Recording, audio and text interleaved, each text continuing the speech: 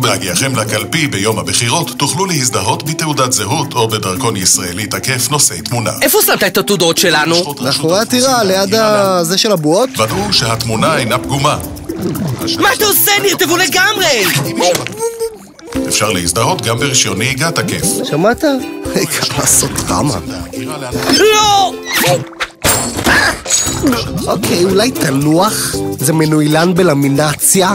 אם נפגמו תעודת הזהות או התמונה שבה, או אם הדרכון אינו בתוקף, פנו אל לשכות רשות האוכלוסין וההגירה להנפקת תעודה חדשה. מה עכשיו? השקשוקה אלמוגים הייתה טעות.